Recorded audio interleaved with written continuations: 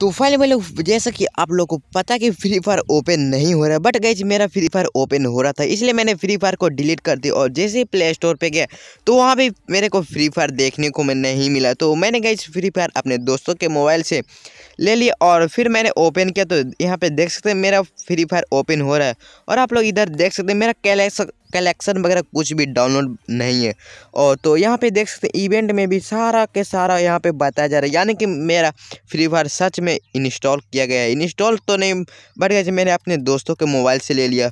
तो इस वीडियो में आपका सारा प्रॉब्लम दूर करने वालों की आपका फ्री फायर क्यों नहीं ओपन हो रहा? तो बहुत सारे यूट्यूबर वीडियो बना रहे हैं कि जिस आईडी बैन होने वाला है तो गैज आप लोग को टेंशन लेने की ज़रूरत नहीं। आईडी किसी का भी बैन नहीं होगा चाहे वो एयरटेल का नेटवर्क यूज़ करे वो जियो का। तो गैज मैंने यहाँ पे जियो का नेटवर्क यूज़ कर रहा हूँ इसलिए मेरा फ्री फायर चल रहा है। और आप एयरटेल का नेटवर्क यूज़ करते हो इसलिए आपका फ्री फायर नहीं चल रहा है। तो आप चाहो तो जियो का नेटवर्क यूज़ करके आप फ्री फायर खेल सकते हो। तो अगर आप फ्री फायर को लेकर परेशान है तो जाओ और जियो नेटवर्क यूज़ करो, आपका भी फ्री फायर चलेगा। आई होप आप लोग को ये वीडियो पसंद है। तो वीडियो को लाइक ज़रूर कर देना और अगर अपने चैनल को अभी तक सब्सक्राइब नहीं किए तो चैनल को भी सब्सक्राइब ज़रूर कर देना। तो मिलते हैं आपको बहुत ही जल्द अगले वीडियो में, तब तक बाय बाय